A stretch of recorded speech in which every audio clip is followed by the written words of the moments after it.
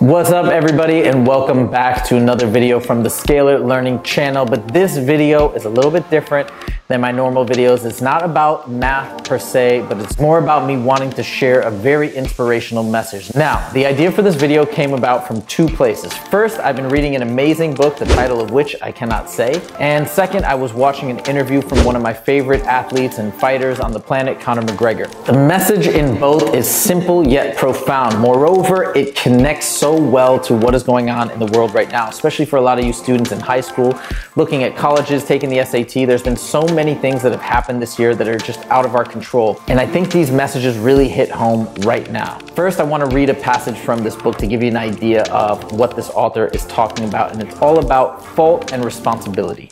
With great power comes great responsibility. It is true, but there's a better version of this quote, a version that actually is profound. And all you have to do is switch the nouns around. With great responsibility comes great power.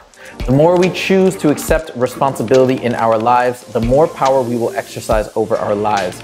Accepting responsibility for our problems is thus the first step to solving them. So again, the overarching idea is yes, there can be things that go wrong. There can be people that are mean to us and we might deal with problems that are simply out of our control but it's a mindset issue. It's about switching from the fault game, from the victimhood mentality to proactively saying, all right, well, this is my situation. I'm going to take responsibility for it and go forward. This dovetails beautifully into Conor McGregor's words of wisdom, which I will share with you now.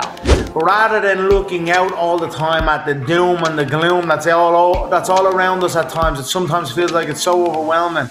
Look within. Look within yourself what feel like minor things, but they are actually the major things. What are the, we'll call the minor things, right? What are the minor things that you can do in your own self that can make you better? You know, are you are you are you eating correct? Are you exercising correct? Are you resting correct? Again, back to the basics, back to the foundation, back to the core. Handle these things, and the outlook will begin to appear so much better. You know what I mean? It's it has to be it has to begin within. It is no one else's fault. It is there all the external circumstances are they do not matter. So do not point so do not give them time. Do not do not point blame at them or do not put energy into them. Bring that energy internally.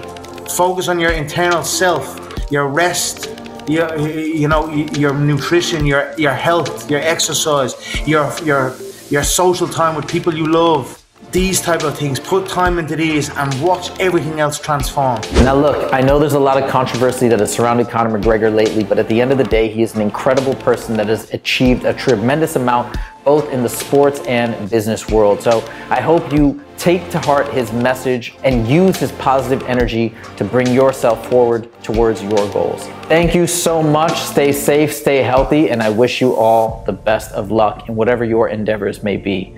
Take it easy